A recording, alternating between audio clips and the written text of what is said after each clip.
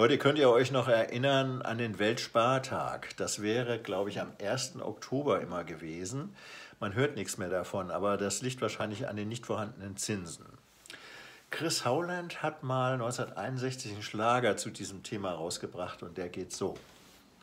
Meine gute alte Tante sagte mal zu mir, leg was auf die hohe Kante, boy, das rat ich dir.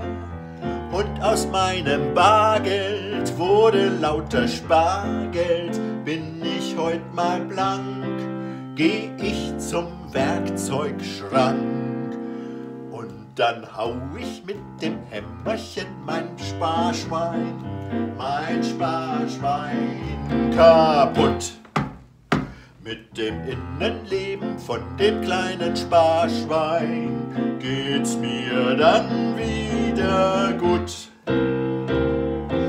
Alle müssen Steuern zahlen, du und ich und er.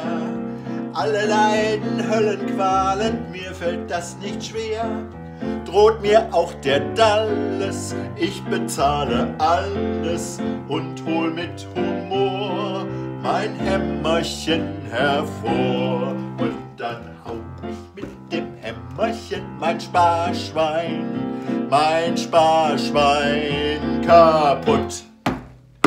Mit dem Innenleben von dem kleinen Sparschwein geht's mir dann wieder gut.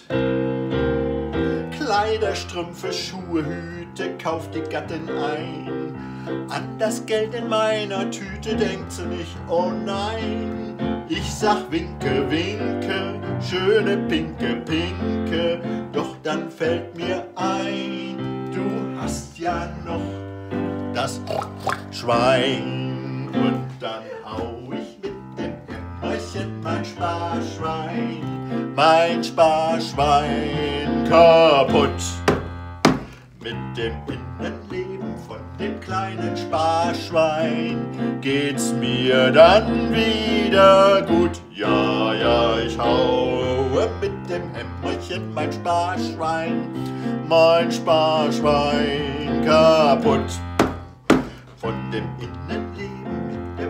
Sparschwein. Geht's mir dann